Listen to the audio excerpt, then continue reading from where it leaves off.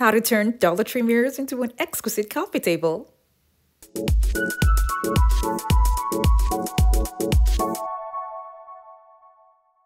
Hey guys, Yoduvh Essentials here. For today's video, I'm going to be using Dollar Tree mirrors and turn them into a coffee table. This is a requested video and I was asked to use Dollar Tree mirrors to make something other than a wall mirror decor. I'll be starting off by removing the mirrors from the frame.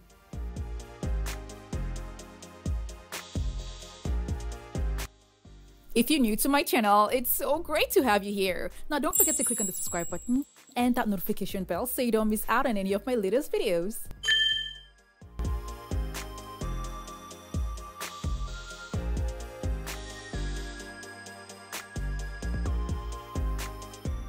I'll be using 14 of these mirrors for this project.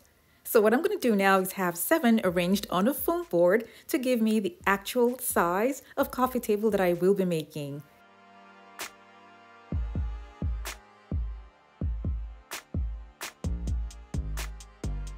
To make this more accurate for myself, I'm going to be using a round glass and drawing out a round circle on the foam board and arranging the frames around it. If you are making a wider coffee table, you would have to use a much wider circle for this project. I'm going to be using a hot glue gun to glue the frames around the circle so that it stays in place and then I get the shape of the frames around the circle and then I'll trace them and carve them out. The space that's left is little, so I'll be overlapping this last piece.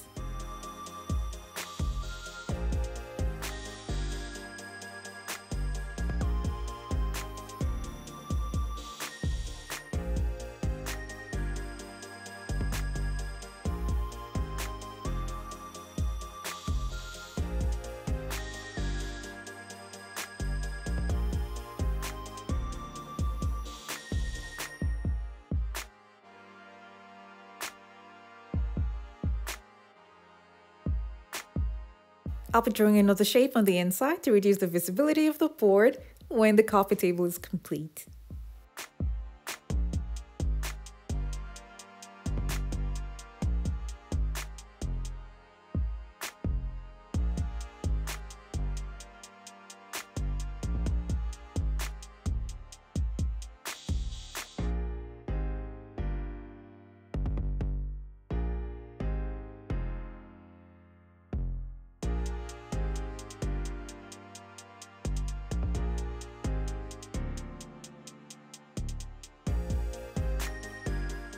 Because the foam board is not strong, I'll be using it just as a template, but I'm going to make the same shape on pieces of wood. Now these wood cutouts are going to be for the top and the bottom of the coffee table, and I'll be attaching the frames to the wood with a strong adhesive. The side of the frame will be facing outside and this side will be facing inside.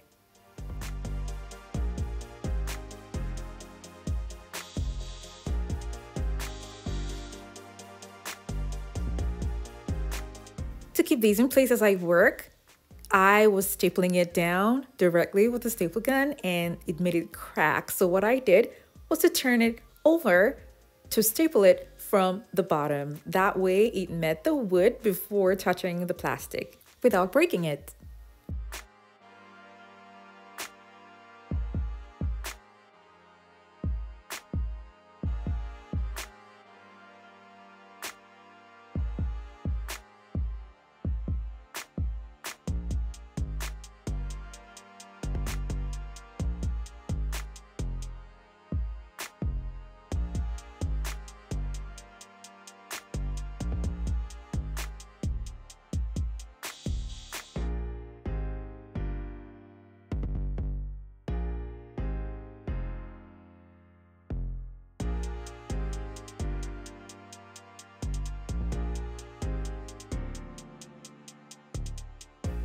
Like I said earlier, guys, if you want this to be wider, you're going to have to use a wider board and use more Dollar Tree mirrors. On the board, the shape doesn't look too accurate, but that's okay because all I needed was a guide on how the frames are to be glued on a board to keep them together in a continuous pattern.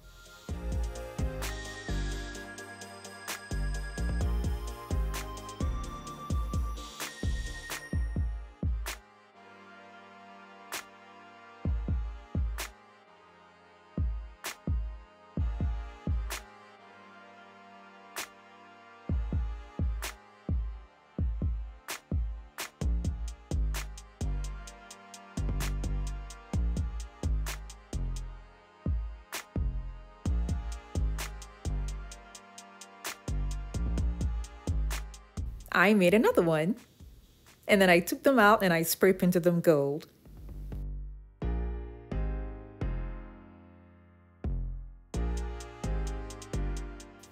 You can simply glue them together and you have an open coffee table. But the problem with this is it's not too sturdy, so you won't be able to keep heavy items on top of this because it's just the frames. Now, if you add the cardboard that come with the frame, it will make it much stronger.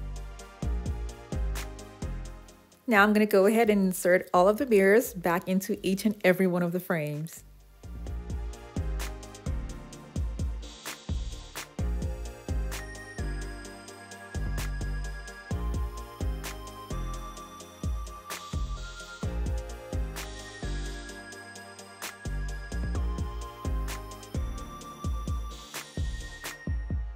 I would strongly suggest that you leave the coffee table overnight before you start moving it around so that the construction adhesive would set properly to keep the table strong and sturdy.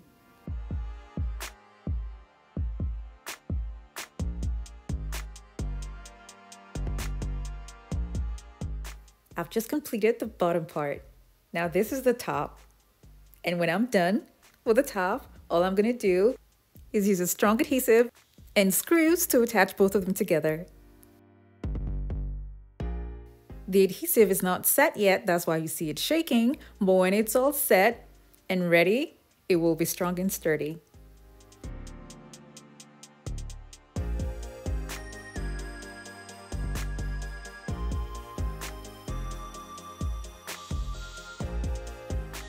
If you are making a wider coffee table, it will be wise to add a board in between the both pieces, like this one here. You're gonna spray paint the sides and add it at the top before adding the other piece that goes on top of it. But because mine is not too wide, I did not put wood in between. All I did was just join them together with screws and a strong adhesive. For the top, you can either cover it with contact paper or have a wall mirror spray painted gold that you don't use anymore for the top.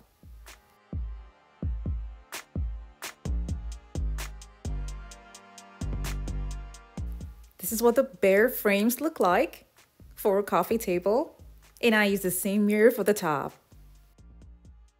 You can also use a different design of a wall mirror like this one that I have in my hand and all I did was to use washi tape by the sides and then I place it on top. The table looks pretty with or without the mirrors, but it is totally up to you.